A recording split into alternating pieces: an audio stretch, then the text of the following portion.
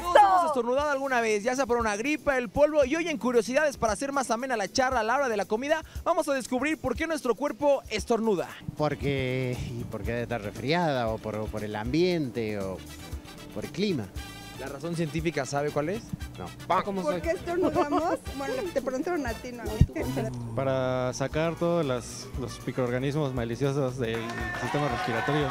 Ah, sí, creo que sí. Se supone que es cuando tu nariz está como reseca, ¿no? Que es cuando se tiene como que lubricar y no sé qué tienes que estornudar. Y algo así.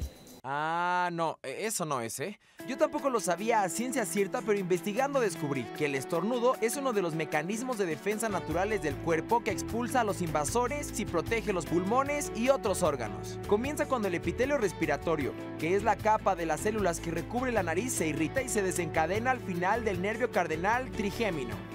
¿Qué le dice al cerebro que inicia el reflejo del estornudo? En él se expulsa aire del cuerpo a velocidades de hasta 150 kilómetros por hora. Los estornudos pueden viajar mucho más lejos de lo que se pensaba. En video en cámara lenta de alta calidad, un estornudo muestra la pulverización de la mucosa, que puede viajar entre 5 y 200 veces más lejos en forma de gotas, en una nube de gas invisible. Por eso, tápense la boca al estornudar, por favor.